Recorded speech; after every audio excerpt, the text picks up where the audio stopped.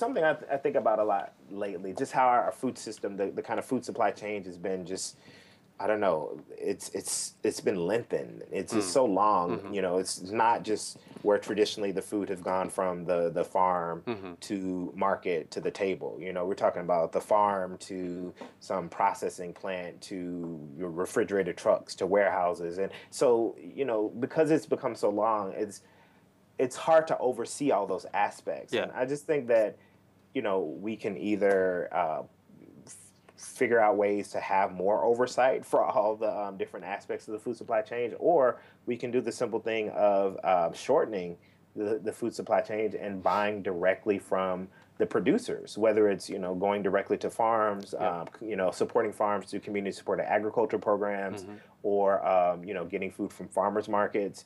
You know when I think about the kind of inseparability of my own personal values and just the way that I want to be in the world and my, you know, work as an activist and yeah. an author around these issues, you know, ultimately it's about justice. Ultimately it's about compassion. Mm-hmm. And if I think about the fact that when I'm buying directly from uh, a food producer, um, the fact that you know 90 cents on every dollar that I spend goes directly to mm-hmm. that producer um, and and that's money in their pockets where they can continue to sustain themselves, their their operation, uh, their families, put food on the table. You know, it's it's right. something that. Um, so it's not executives makes, and shareholders and banks and things like that, but the direct food. You producer. know, yeah.